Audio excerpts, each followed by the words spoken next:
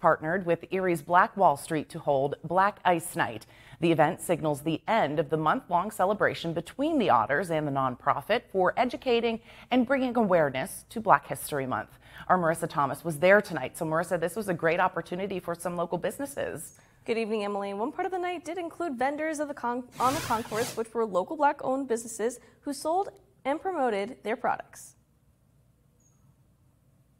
For several months, the Erie Otters and Erie's Black Wall Street have been collaborating to celebrate, educate, and bring awareness during this year's Black History Month. As a ceremonial close to Black History Month, the two organizations teamed up to host Black Ice Night.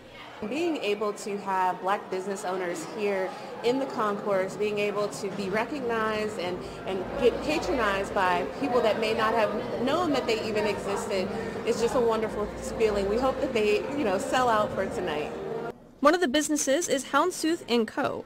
that has artisan bath and body products. Owner Marika Jones says this event helps representation of black-owned businesses in the community. We're going to bring awareness for all of the black-owned businesses that are here. There's four of us here represented, um, and it's just going to let the community know that we're here all year round for our products, all season, any season.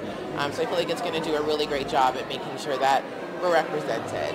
Jones says she's grateful for the opportunity to share her products with a broader audience and has high hopes to see her business grow in the future. Thank you so much for making this available for us, letting us know, including us, um, and sponsoring this event um, to help share more awareness about Black History Month, end the month on a great note, and um, hopefully we can top it next year. Also, the Black History Month custom warm-up jerseys designed by Joe Dabney were auctioned off online with all proceeds benefiting Black Wall Street, Erie's Black Wall Street. Marissa Thomas, Erie News Now.